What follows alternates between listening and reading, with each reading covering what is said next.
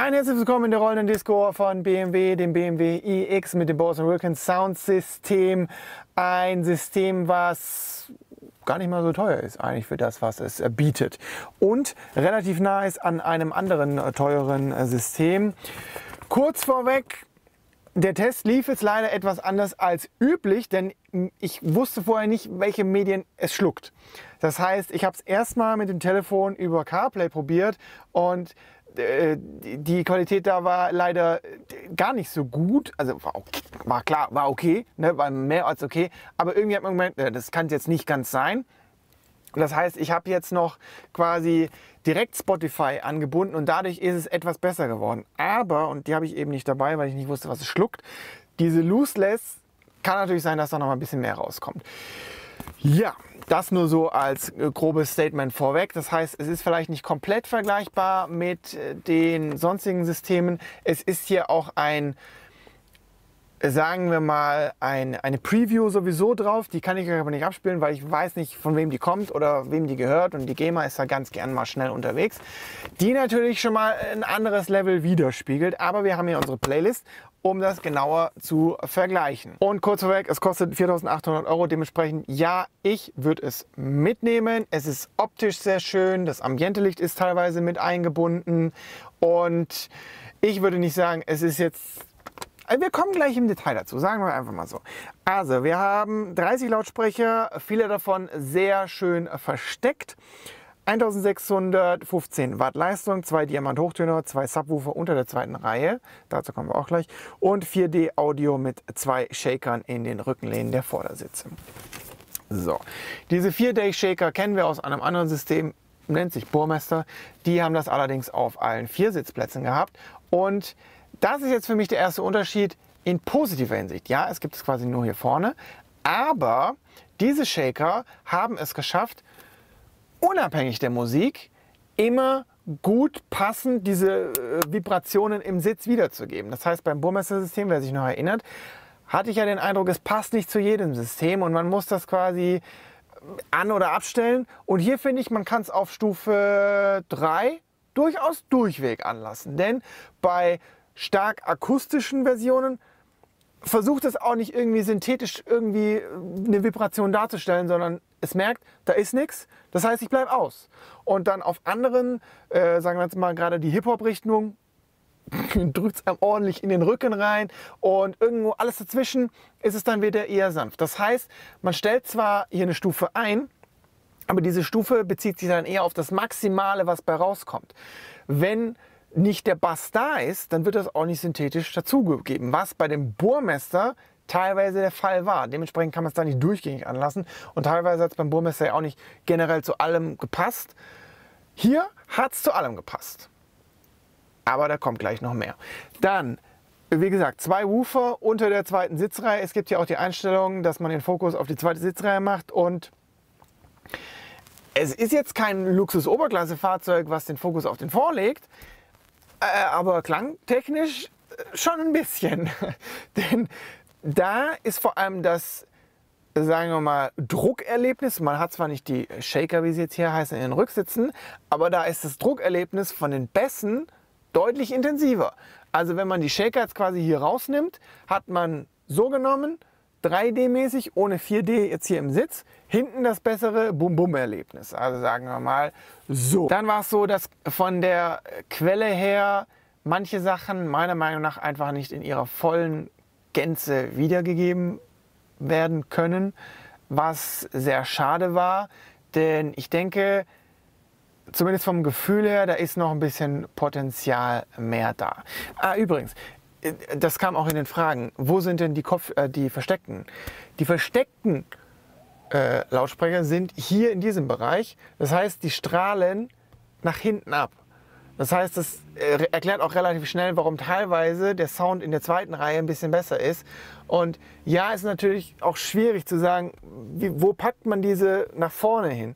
Es gibt, äh, ist das ein Kleinwagen, ein Kompaktwagen, der hat die quasi hier aufgesetzt und die haben von der Software das so geregelt, dass das wirklich hier umhüllt. Hier ist es so, dass es wirklich leicht nach hinten abstrahlt. Man hat auch hier noch Lautsprecher über sich. Aber ja, es ist ein bisschen komisch, dass man hinten einen leicht besseren Klang hat. Gehen wir einfach mal so die Sachen durch. Ähm, Sandstorm war ganz ordentlich, hat ganz ordentlich ge gescheppert, klingt jetzt falsch, aber ne, da war schon ordentlich was da.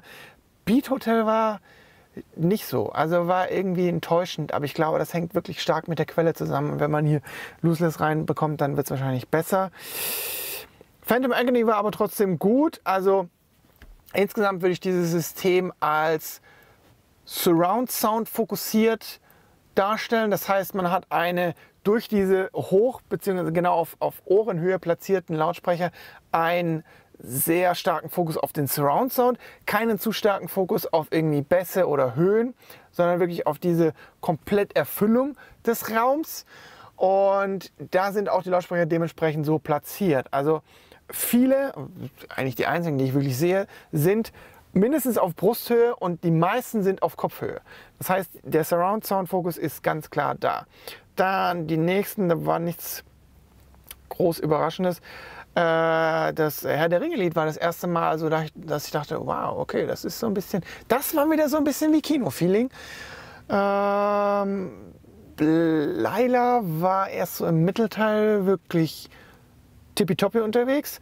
Und dann kommen wir in die Bereiche, wo ein bisschen mehr Volumen da war. Das heißt, Bon Jovi war dann schon wieder so, ah, okay, jetzt, jetzt, jetzt kommt so ein bisschen was. Und dann die zwei Hip-Hop-Lieder, da haben auch die Shaker dann richtig, also da braucht man keinen Massagesitz mehr, ganz ehrlich, weil der, der Rücken wird massiert, dann wird von den Bässen nochmal der Rest irgendwie massiert. Da war richtig, war richtig Druck da. Das hat richtig schön geklungen. Skyfall war auch wieder sehr schön so kinomäßig. Also man merkt, also die, die zwei Kinolieder, die da drin sind, die hatten wirklich so das Gefühl, okay, wo ist jetzt der Film? Also die waren richtig ordentlich. In die Action 9 war nicht so. Und dann das Duett, das neue, war auch ordentlich. Und insbesondere die 1, 2, 3, 4, 9 die ja stark den Bassfokus hatten, die waren hier auch wieder sehr ordentlich. Insbesondere der Retro-Wunsch, äh, natürlich, natürlich, ähm, der mir auch wieder so ein kleines lachendes, äh, lachendes Auge, so äh, lachen, weinendes Auge äh, ja, reingetrieben hat. Das äh, war sehr ordentlich, äh, sehr schön. Insgesamt würde ich sagen, ich würde es auf jeden Fall, also ich würde es auf jeden Fall mitnehmen. Aber ich muss auch ganz ehrlich sagen, es war jetzt, und ich glaube, das hängt sehr viel mit der Quellenrestriktion zusammen, unter den Möglichkeiten. Wenn man hier mit dem USB-Stick reingehen würde oder einfach schon, wenn ich sagen konnte, ich könnte vom Telefon direkt reingehen, wäre es einfach besser, weil die Streaming-Sachen sind ja hier quasi reglementiert. Ich habe zwar hier auch 5G, aber ich kann mir hier in der App einstellen, okay, ich möchte Spotify, ja, egal was mich das Datenvolumen kostet, gib mir die beste Qualität. Und das kann ich hier eben nicht. Und das hat man gemerkt, da fehlt was. Und über die Bluetooth-Verbindung CarPlay fehlt ja sowieso ein bisschen was.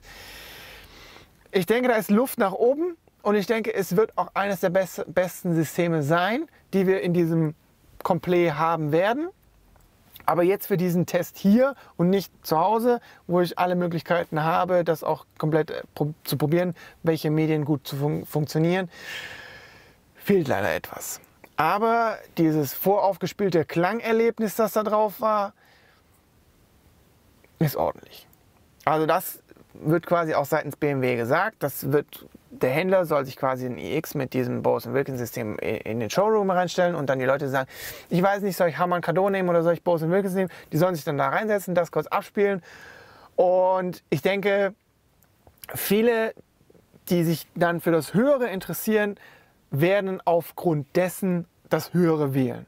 Und das ist auch definitiv kein falscher Move in die Richtung. Das Harman Kardon wird definitiv auch nicht schlecht sein, denn das hat auch zwei Woofer unter der zweiten Sitzreihe und es hat auch die äh, Kopfstützenlautsprecher, allerdings nur in der zweiten Reihe, was ich nicht so ganz verstehe.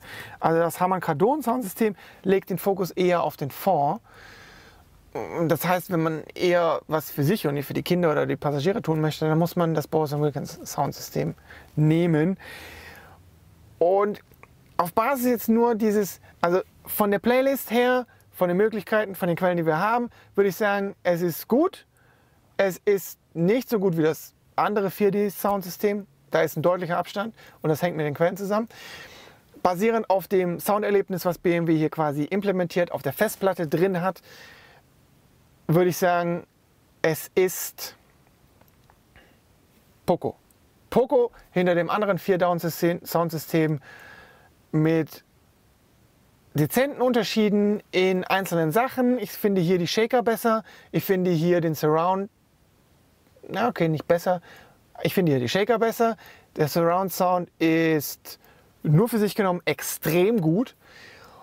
Und wir haben so eine ganz klare Mittellinie. Dann haben wir verschiedene Klangprofile hier. Einmal für den Vor, selbst erklären, Fokus auf den Vor. Und dadurch, dass viele Lautsprecher in Richtung Vor strahlen, ist es auch da mit am besten. Onstage habe ich jetzt genutzt. Das ist das faszinierende kleine Erlebnis inmitten der Musik. Hat für mich den besten Surround-Sound-Effekt gehabt. Oder was heißt, es ist ja nicht nur ein Effekt, es ist ja wirklich ein Surround-Sound. Und dann gehen wir weiter auf Konzert. Das soll wie ein Konzertsaal. Ist jetzt natürlich die Frage, welchen Konzertsaal. Kann jetzt natürlich sein, dass bei Boris Milkins auch einen anderen Konzertsaal schon hat in äh, Göteborg, dass es der ist. Ich glaube es aber nicht, dass es der ist, denn der klingt ein bisschen anders. War für die Akustiksachen besser. Und dann Studio, purer Musikgenuss im Tonstudio, wie im Tonstudio. Ja, ist ein eher ruhigeres Klangerlebnis für, ich sag mal, insbesondere so die Podcast-Richtung. Denn, ganz wichtig, eines dieser vier Klangprofile ist immer aktiv. Das heißt, äh, man kann jetzt nicht sagen, ich nehme keines davon. Und Studio fände ich jetzt für, für längere Fahrten mit äh, langem, äh, langem Zuhören am besten. In diesem Sinne, meine ganz klare Kaufempfehlung, aber auch der Hinweis, dass es eventuell enttäuschend sein kann, wenn man nicht die richtige Quelle nimmt. Enttäuschend im Sinne von, man hat gefühlt zu viel Geld dafür bezahlt. Und wer das so ein bisschen scheut, dann auf jeden Fall nur Richtung Hamann Cardon gehen. In diesem Sinne vielen Dank fürs Zuhören und gerne bis zum nächsten Mal.